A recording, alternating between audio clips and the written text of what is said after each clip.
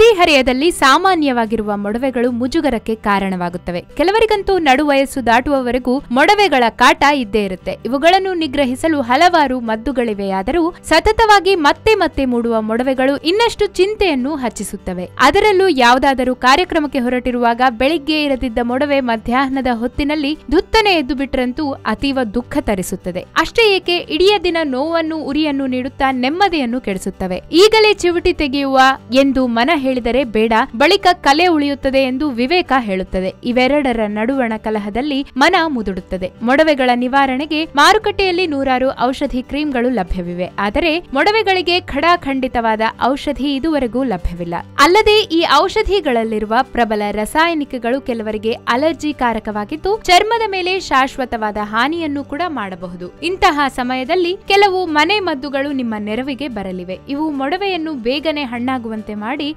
ಒಳಗಿನ ಕೀವು ಸುಲಭವಾಗಿ ಹೊರಬರುವಂತೆ ಮಾಡುತ್ತದೆ ಹಾಗೂ ಬಳಿಕ ಹುಟ್ಟುವ ಹೊಸ ಚರ್ಮದಲ್ಲಿ ಕಲೆ ಇಲ್ಲದಂತೆಯೂ ನೋಡಿಕೊಳ್ಳುತ್ತದೆ. ಈ ಮುಂದೆ ಹೇಳುವ ಮನೆ ಮದ್ದುಗಳನ್ನು ಕೇವಲ ಹದಿನೈದೇ ನಿಮಿಷದಲ್ಲಿ ಮಾಡಿ ಮುಗಿಸುವಂತದ್ದಾಗಿದ್ದು ನಿಮಗೆ ಅತಿ ಸೂಕ್ತ ಎನಿಸಿದ್ದನ್ನು ನೀವು ಆರಿಸಿಕೊಳ್ಳಿ. ಒಂದು ಚಿಕ್ಕ ಬೋಗಣೆಯಲ್ಲಿ ಎರಡು ದೊಡ್ಡ ಚಮಚ ಟೊಮ್ಯಾಟೊ ಜ್ಯೂಸ್, ಸಿಪ್ಪೆ ಮತ್ತು ಬೀಜ ತೆಗೆದ ತಿರುಳನ್ನು ಮಿಕ್ಸಿಯಲ್ಲಿ ಕಡೆಯುವ ಮೂಲಕ ಪಡೆದ ರಸವನ್ನು ತೆಗೆದುಕೊಳ್ಳಿ. ಒಂದು ದೊಡ್ಡ ಚಮಚ ಜೇನುತುಪ್ಪ ಮತ್ತು ಅರ್ಧ ಚಿಕ್ಕ ಚಮಚ ಅಡುಗೆ ಸೋಡಾ ಬೆರೆಸಿ ಮಿಶ್ರಣ ಮಾಡಿ. ಇನ್ನು ಈ ಮಿಶ್ರಣವನ್ನು ಈಗ ತಾನೇ ತಣ್ಣೀರಿನಿಂದ ತೊಳೆದುಕೊಂಡ ಮೊಡವೆಯ ಮೇಲೆ ನೇರವಾಗಿ ದಪ್ಪನಾಗಿ ಹಚ್ಚಿ. ಹತ್ತು ನಿಮಿಷ ಬಿಟ್ಟು ಈ ಮಿಶ್ರಣವನ್ನು ತಣ್ಣಗಿನ ಹಾಲು ಉಪಯೋಗಿಸಿ ತೊಳೆದುಕೊಳ್ಳಿ. ದಿನಕ್ಕೆ ಎರಡು ಬಾರಿಯಂತೆ ಒಂದು ವಾರ ಈ ವಿಧಾನವನ್ನು ಅನುಸರಿಸಿದರೆ ಮೊಡವೆಗಳು ಪೂರ್ಣವಾಗಿ ಮಾಯವಾಗುತ್ತವೆ. ಅರಶಿನದ ನಂಜು ನಿರೋಧಕ ಗುಣ ಮೊಡವೆಗಳನ್ನು ನಿವಾರಿಸುವ ಸಹಿತ ಚರ್ಮಕ್ಕೆ ಹಲವು ವಿಧದಲ್ಲಿ ಅನುಕೂಲಕರವಾಗಿದೆ. ಇದಕ್ಕಾಗಿ ಒಂದು ಚಮಚ ಹಾಲು ಮತ್ತು ಒಂದು ಚಮಚ ಗುಲಾಬಿ ನೀರನ್ನು ಬೆರೆಸಿ ಕೊಂಚ ಅರಿಶಿನ ಪುಡಿಯನ್ನು ಸೇರಿಸಿ ಮಿಶ್ರಣ ಮಾಡಿ. ಈ ಲೇಪನ ತಕ್ಕ ಮಟ್ಟಿಗೆ ಗಾಢವಾಗುವಷ್ಟು ಅರಿಶಿನ ಪುಡಿ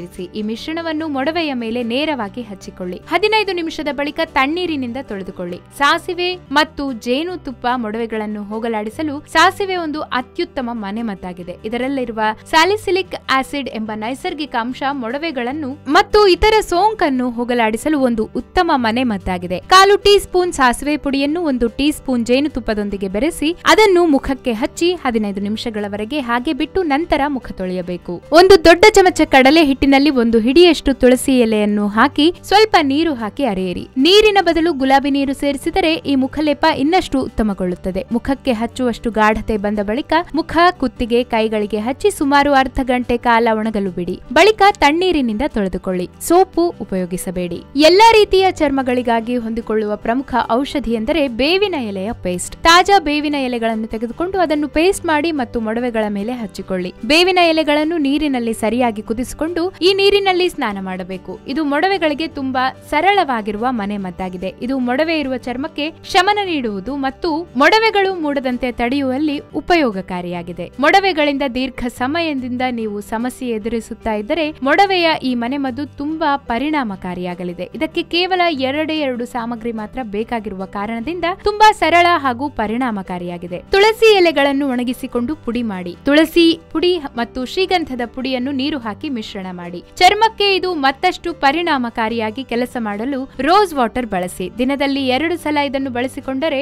ಮೊಡವೆ ಇರುವ ಜಾಗವು ಕೆಲವೇ ದಿನಗಳಲ್ಲಿ ಸುಂದರವಾಗಿ ಕಾಣಿಸುವುದರಲ್ಲಿ ಸಂಶಯವೇ ಇಲ್ಲ. ಬೇವಿನ ಎಲೆಗಳಂತೆ ಮೊಡವೆಗಳಿಗೆ ತುಂಬಾ ಪರಿಣಾಮಕಾರಿಯಾಗಿ ಕೆಲಸ ಮಾಡುವ ಮತ್ತೊಂದು ಸಸ್ಯವೆಂದರೆ ಪುದೀನ. ತಾಜಾ ಪುದೀನ ಎಲೆಗಳನ್ನು ತೆಗೆದುಕೊಂಡು ಅದಕ್ಕೆ ನೀರು ಹಾಕಿ. ಇದರ ಪೇಸ್ಟ್ ಮಾಡಿಕೊಂಡು ಮೊಡವೆ ಇರುವ ಜಾಗಕ್ಕೆ ಸರಿಯಾಗಿ ಹಚ್ಚಿಕೊಳ್ಳಿ ಮತ್ತು ಒಣಗಲು ಬಿಡಿ. ಸ್ವಲ್ಪ ಸಮಯ ಬಿಟ್ಟು ತಣ್ಣೀರಿನಿಂದ ತೊಳೆಯಿರಿ. ಒಂದು ಪಾತ್ರೆಗೆ ಸ್ವಲ್ಪ ಕಾಫಿ ಪುಡಿಯನ್ನು ಹಾಕಿ. ಇದಕ್ಕೆ ಬೇಕಾದಷ್ಟು ನೀರು ಸೇರಿಸಿ ದಪ್ಪನೆಯ ಪೇಸ್ಟ್ ತಯಾರಿಸಿಕೊಳ್ಳಿ. ಮುಖದಲ್ಲಿ ಮೂಡಿರುವ ಮೊಡವೆ ಕಲೆಗಳ ಮೇಲೆ ಈ ಪೇಸ್ಟ್ ಅನ್ನ ಹಚ್ಚಿಕೊಂಡು ಸುಮಾರು ಹದಿನೈದು ನಿಮಿಷ ಇದನ್ನು ಒಣಗಲು ಬಿಡಿ. ನಂತರ ತಣ್ಣಗಿನ ನೀರಿನಿಂದ ಮುಖ ತೊಳೆದುಕೊಳ್ಳಿ. ಅಡುಗೆ ಮನೆಯ ಸಾಮಗ್ರಿ ನಿಮ್ಮ ತ್ವಚೆಯ ಸಮಸ್ಯೆಗೆ ಉತ್ತಮ ಪರಿಹಾರವಾಗಿ ಬಂದೊದಗಿದ್ದನ್ನು ನೀವೇ ಕಾಣಬಹುದಾಗಿದೆ. If you like this video ಬೇಗ ಲೈಕ್ ಮಾಡಿ ಕಾಮೆಂಟ್ ಮಾಡಿ ಶೇರ್ ಮಾಡಿ ಹಾಗೂ ಯೋಯೋ ಟಿವಿ ಕನ್ನಡವನ್ನು ಸಬ್ಸ್ಕ್ರೈಬ್ ಮಾಡಿ.